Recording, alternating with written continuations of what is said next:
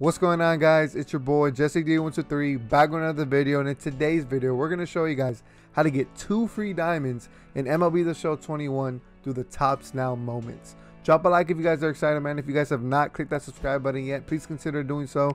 We're on the road to 1600 subs man, so please be the cool guy girl that helps us get there. I really appreciate it.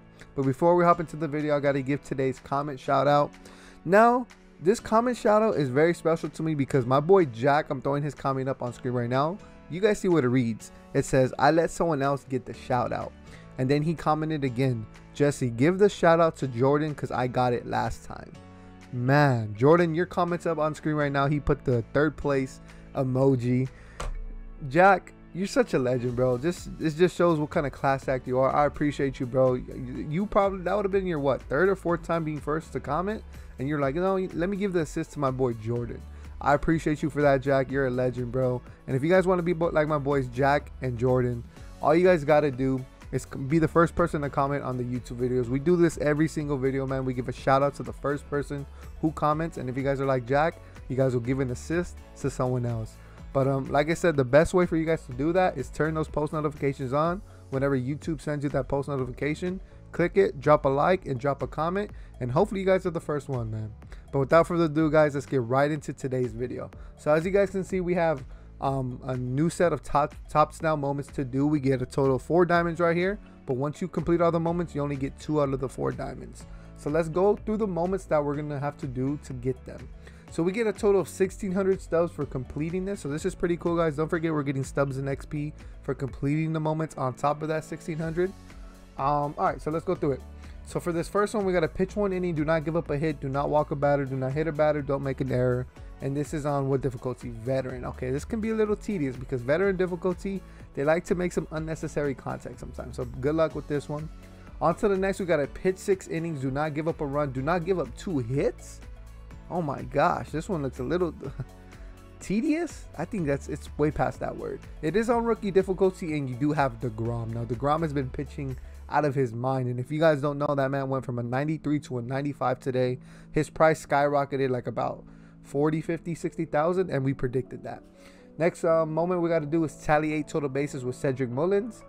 Um, next one after that, strike out 11 batters with Skubal. Okay, on rookie difficulty as well. And finally, we got to tally four extra bases, but we get three games to do this with Patrick Wisdom. Now we're going to get into the four cards that we get to, well, the four choices that we get to look at, but we only get to choose two of them. I'm to give you guys my input on who I would take personally. But don't don't forget guys, we're going to be getting all of these cards once the what is it? April May when the June monthly awards program comes out. But um, I'm to give you guys my honest my honest choice on who I would go right now. So the first choice is Cedric Mullins. He's got 116 contact against righties, 82 contact against lefties, 97 power against righties, and 72 power against lefties with 82 vision. Okay, he's pretty nice. I'm not gonna lie. He is a center fielder, can play multiple um, outfield positions. He does have 82 fielding, which is nice. I do not like his arm though, and his speed is pretty nice too. But his arm and his his reaction is good, but his arm is just I don't know. Cedric Mullins, I don't think I would go him right here. So the person I would go other than Cedric Mullins is my boy Patrick Wisdom. And you guys are to know why right off the bat. 87 contact against righties, 90 contact against lefties, 105 power against righties, and 108 power against lefties. Ding, ding, ding. This is the reason why I say go him over Cedric Mullins because this man has pop. He does have 78 fielding with 76 arms, 74 accuracy with 78 reaction. Now he's a third baseman, guys, and he does have secondary positions at right field and first base. But honestly, third base, I don't know about you guys, but this he could be my third baseman. I'm not gonna lie. Yeah, even maybe even my first baseman, because he's pretty nice, man. He does have a lot of pop. Not to mention we can parallel up these cards. So every stat you guys see here, you can just add five to it if you guys get it to that parallel five. So he's gonna be nasty, man. Patrick Wisdom for sure. Between Mullins and Wisdom, I'd go Wisdom. Now let's go on to the last two choices. We have our boy. Where are they on the second page? Yeah, I believe so. Um, where's he at? Where's he at? Where's he at? Apologize, guys. All right, Tarik Skubal. So he's a left-handed starting pitcher. He does have a nice repertoire, I'm not gonna lie. Four-seam changeup, slider, curve, and a cutter. And now his pitch speed differential is a little better than our other choice.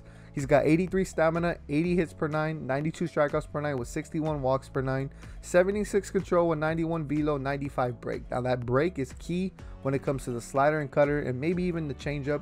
Skubal, he's a nice choice. He's a left-handed pitcher. So if you guys need another left-handed pitcher on your team, um, go ahead and take my boy. But me personally, I would go Michael King. Now this is why. This man has a sinker. That sinker, hey, say what you want, but that sinker and that cutter action, just for me personally, has worked wonders for me. Wonders. Now let's go through his stats. So he's got 83 stamina, 72 hits per nine. So this is where this card lacks. His hits per nine is low, which means the PCI is going to be a little bit bigger when you face opponents. 85 strikeouts per nine, 77 walks per nine with 76 control. Also not the best. 89 velo with 94 breaks. So he does have 94 breaks, so that cutter is going to be cutting a little bit. And also that circle change.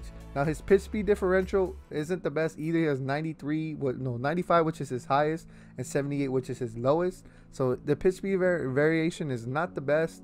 But me personally, like I said, I'm a fan of the sinker cutter, um, one and two pitches. So Michael King would be my choice. And he's also a right-handed pitcher. Now keep in mind, my guys, if you guys need another left-handed pitcher, Skubal, Skubal might be your choice. Don't get me wrong, this Skubal is really nice. That cutter with the four seam and the slider, it's going to be very, very effective.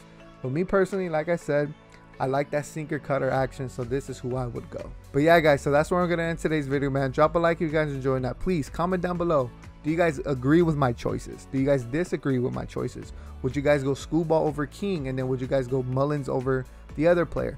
Let me know down in the comments because I think my two choices are solid and that's who I'm going to be going. But I really want to hear you guys' thoughts as well.